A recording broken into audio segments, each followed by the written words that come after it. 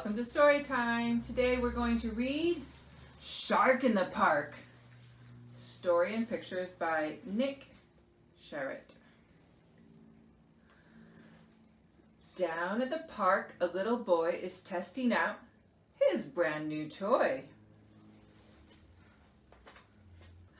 Timothy Pope, Timothy Pope is looking through his telescope.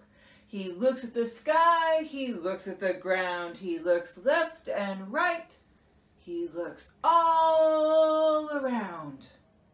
And this is what he sees. What a nasty surprise! In his loudest voice, Timothy cries, There's a shark in the park!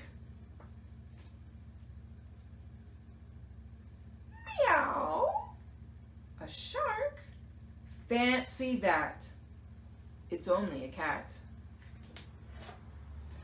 Timothy Pope, Timothy Pope looks again through his telescope. He looks at the sky, he looks at the ground, he looks left and right, he looks all around. And this is what he sees. What a terrible sight! Timothy yells with all of his might. There's a shark in the park! Ka! Ka! A shark? Oh no.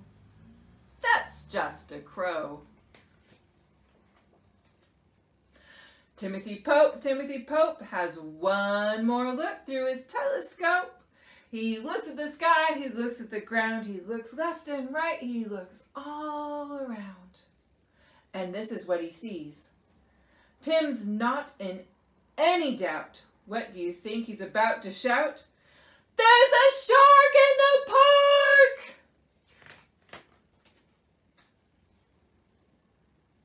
A shark? No, it's not. And aren't you glad? As a matter of fact, it's Timothy's dad. It's time to go home, Timothy. Timothy Pope says, it's safe to say there are no sharks in the park today. Quack. The end.